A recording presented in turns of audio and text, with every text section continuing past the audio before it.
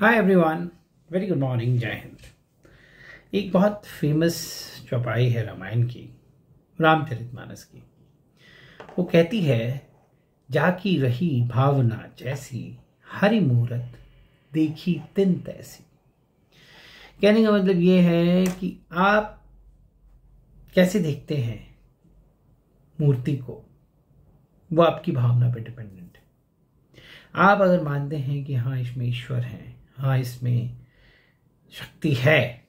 हाँ इसमें पावर है। तो आपको वो पावर दिखेगा।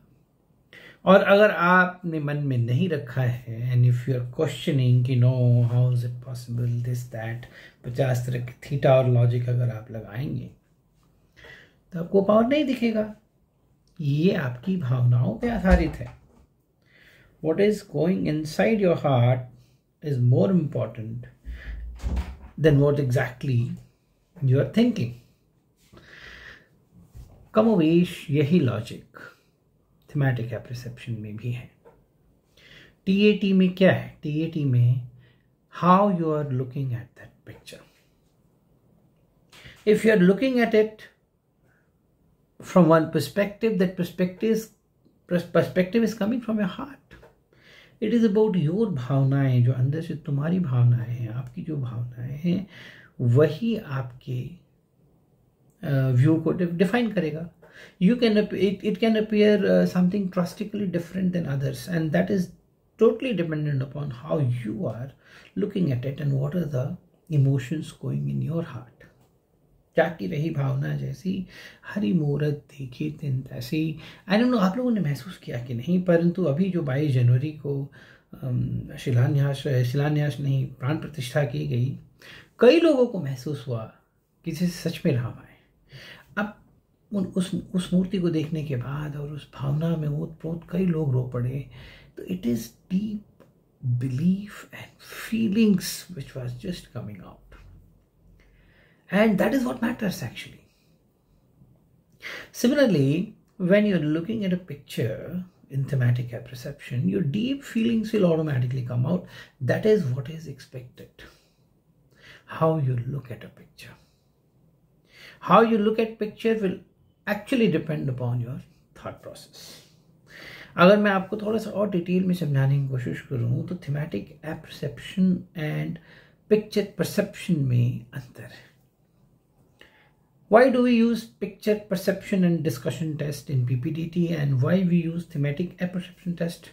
Why don't we say thematic perception test? We call it thematic apperception test. What is the meaning of this word apperception? अगर आप इसको समझेंगे तो आप मेरी बात को और गहराई से समझ पाएंगे The meaning of the word apperception is how you it is more or less a mental process. First thing, a perception is a mental process and by and large entire SSP is a mental process that I have been telling you for long. So it is a mental process by which you make sense of a new idea. Now that idea is where? That idea is in that picture. The picture is giving you a new idea. How do you make sense of it? By assimilating it. It says how you assimilate it to your existing body of ideas means you as a person, as a grown-up individual, as an adult, you have a thought process to what it calls as body of ideas. To this body of idea, how do you add this new idea is a perception. So what it means? That this new idea per se will not act independently, it will be based upon your own thought process. मेरी classes में मैं इसी चीज़ पे तवज्जो देता हूँ कि आपका एमेलगमेशन कैसे होता है पुराने थॉट प्रोसेस का इस नए थॉट से कैसे मिक्सचर होता है, वही है थीमेटिक एप्रिसेप्शन इसीलिए आप ये मत सोचिए कि मैं इस पिक्चर को देख के एक अच्छी स्टोरी बनाऊँ, बिल्कुल मत सोचिए। आप ये सोचिए कि मैं कैसे अपने अंत मन पे काम करूँ।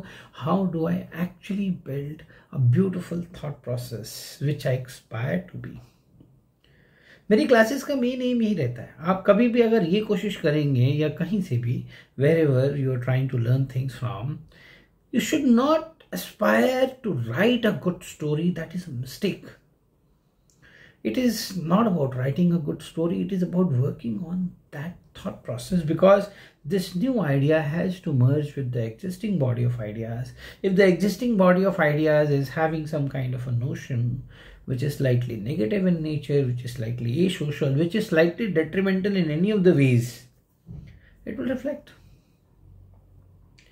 Many people will say, Can I deceive it? I will deceive it. I will not let it. If you deceive it, you are actually deceiving yourself, frankly speaking. This is a full proof system. It cannot be deceived. पहली बात मैं आपको यही समझाना चाहता हूँ कि पहले तो आप ये मान के चलिए कि इसको मैं प्ले अराउंड नहीं कर सकता हूँ। अगर मुझे जेनविन तैयारी करनी है तो मुझे अपने आप पे काम करना है, अपने विचारों पे, अपने थॉट प्रोसेस पे। मुझे इस पे काम नहीं करना है कि मैं कैसे एक शॉर्टकट ले लूँ। जिस, इसीलिए अगर कोई आपके गुरु हैं, कोई भी टीचर हैं एक्स वाई जेड हैं, जो भी हैं, अगर खुदा न खास्ता आपको बता रहे हैं कि इसको ऐसे कर दो, इसको वैसे कर दो। आप यकीन जानिए, उनको अपना काम नहीं आता। और वो बाय लार्ज आपसे कनेक्ट नहीं कर रहे हैं। वो आपको as a medium of money generation समझ रहे हैं। वो आपको अपना एज अ प्रोजेक्ट नहीं ले रहे हैं। आप, उनको इस चीज़ से लगाव नहीं है कि मेरा ये जो स्टूडेंट है, ये रिकमेंड हो जाए। उनको इस चीज़ से लगाव है कि चलो मेरे पैसे बन रहे हैं I don't care run majority ऐसा ही है। आप भी जानते हैं, मैं भी जानता हूँ। तो आप इससे थोड़ा सावधान रहिए कि रेडीमेड आंसर मुझे नहीं चाहिए। आप बोलिए। I don't want please don't give me readymade answer I don't want that you tell me how I work upon myself what is my weakness पर ओइल cues where am I going wrong and what should I change in myself और आप यकीन जानिए कि आप में बहुत बड़ा कोई बदलाव की ज़रूरत होगी भी नहीं। आप में बहुत हल्का सा कोई छोटा सा बदलाव चाहिए होगा। और आप वो कर लेंगे और आप कर लेंगे तो बहुत बदलाव अपने आप होने लगे अब थेमेटिक परसेप्शन पे हम दोबारा अगर बात करें तो एक इंपॉर्टेंट फैक्टर ये है कि आप उस पिक्चर को कम से कम थर्टी सेकेंड्स देखिए। आप ये मत सोचिए कि मैंने देख लिया मैंने समझ लिया नहीं। देख लिया समझ लिया आ, ये वो वाली बात नहीं है। ये बात ये है कि वो पिक्चर जो है, वो आपके अंत मन में जानी चाहिए to go deep inside your soul and theoretically आप उसको अनकॉन्शियस माइंड कह सकते हैं। जब तक ये पिक्चर आपके अनकॉन्शियस में नहीं जाएगी, ये वो इफ़ेक्ट नहीं जनरेट करेगी, जिसकी आकांक्षा साइकोलॉजिस्ट को है। वॉट ही वॉन्ट्स इज़ कि this picture as an stimulus should go and strike your unconscious mind and your story should actually come from there. If it is not coming from your unconscious mind, trust me, it is not your story. It is of no use to psychologist. He can just throw it in the dustbin. That is what actually happens. It is not about, you know, how well you are able to present ideas and how well you are able to revolutionize the world and how in every stories you're talking about bringing this change and that change it is not about that it is never about that it was never about that it was always about what do you think your singular thought process you as a person that is what counts तो एक उसमें बहुत ही important aspect thematic apperception में ये है कि are you able to gauge the mood आप गेज कर पाते हैं मूड को। आप थीमेटिक एपरसेप्शन से बाहर आ जाइए। आप रियल लाइफ में आएँगे। क्या आप लोगों का मूड पढ़ पाते हैं? अगर आप लोगों का मूड पढ़ पाते होंगे जनरली आपको दिक्कत बहुत कम आएगी लाइफ में। Because majority of the time क्या होता है कि हम लोगों का मूड परसीव नहीं कर पाते हैं। हम उनके मूड को समझ नहीं पाते हैं और हम कुछ ऐसी बातें भूल जाते हैं जो शायद उस समय हमें नहीं बोलनी चाहिए थी। Gauging the mood the mood के बहुत सारे शेड शेड्स होते हैं। जैसे कि मान लीजिए कोई सैड है। Someone is sad someone is very sad someone is extremely sad someone is traumatic someone is almost into depression someone is into a terrible state of mind to the extent of being suicidal all these are shades of sad and it is increasing A person can be sad just because he watched a bad movie. That's normal. He's sad. He may be sad कि because movie खराब थी मैंने अपना time खराब कर दिया और he may be sad कि because that story had a bad impact on him. But it is not gonna last. it is not gonna you know impinge his thought process it is not gonna go into his unconscious it is not gonna affect him but someone is very sad means something personal loss has happened not very high but some personal loss has happened some appointment got cancelled some you know tender was expected it didn't come something happened someone has you know someone was expecting something mostly on those natures someone is traumatic means something personal has happened someone has broken the heart girlfriend ने message कर दिया है now will be friends वो message बार बार बज रहा है it's traumatic state और someone very close has met with an accident so he has lost someone very close something like that or someone very close has gotten into a very bad medical situation it can be something like that then uh, someone is you know almost at the stage of depression now this is very serious now this person has lost hope hope निकल गई है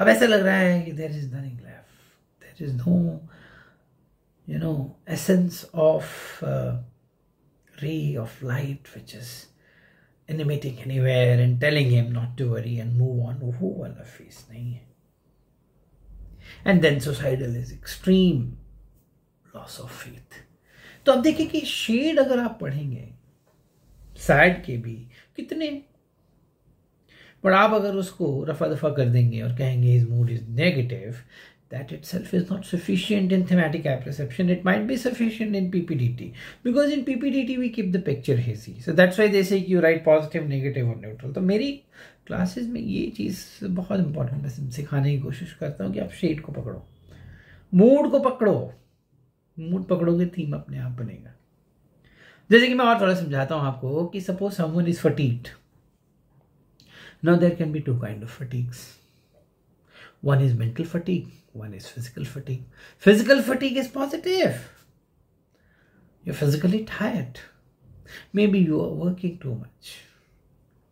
Maybe there was a work pressure which required you to work so long. You're a doctor. There was a medical emergency. There was a trauma case going on, and you worked and you worked and you tired. That is a physical fatigue. There's nothing negative in it, it is very positive. The ultimately the person will feel happy that he could work and he could, you know, save so many lives. There is mental fatigue is when you mentally are fatigued.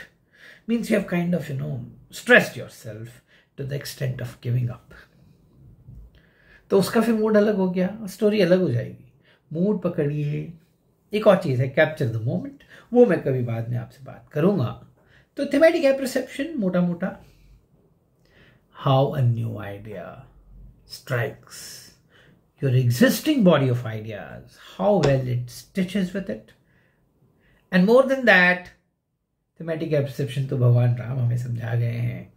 पता नहीं आप लोगों को महसूस हुआ कि नहीं मुझे भी उस मूर्ति को देख के बहुत अच्छा महसूस हुआ। ऐसा लगा कि हाँ there is something I felt so आप बताइएगा आपने फील किया कि नहीं? मेरे चैनल को सब्सक्राइब ज़रूर कीजिए और शेयर भी कीजिए। आई नीड योर सपोर्ट आप देख रहे हैं कि बहुत बकवास, बहुत अच्छे से चल रहे हैं। तो अच्छी चीज़ें भी चलनी चाहिए। मुझे मालूम है, मुझे यकीन है कि मेरा कंटेंट अच्छा है जेनविन है। अगर आप मेरे साथ जुड़ना चाहते हैं मेरे ऑनलाइन कोर्स में तो आप आ सकते हैं। एक कोर्स शुरू होने वाला है पाँच फरवरी से। Otherwise whenever you want offline जुड़ना चाहें तो मैं अपना एक कोर्स शुरू कर दिया है मैंने आजकल सावधा के साथ। That is also a very good in आपके इनिबिशंस हैं डर हैं पर्सनैलिटी इश्यूज़ हैं आप कुछ चीज़ें नहीं बोल पाते हैं डरते हैं इनिबिशंस हैं थोड़ा सा ग्रुप डायनेमिक्स आपका बिगड़ा हुआ है आप ग्रुप में कंफर्टेबल नहीं है कभी ग्रुप में काम नहीं किया है और फिर one on one interaction personal level पे। इंटरव्यू भी तो होता ही है। उसके अलावा क्लासेस बहुत जोरदार होती हैं तो आप वहाँ भी जुड़ सकते हैं। एंड uh, बताइएगा कैसा लगा ये वीडियो कमेंट में? I would look forward to hear from you. And uh, thank you for your support. Wishing you all the good luck. Jai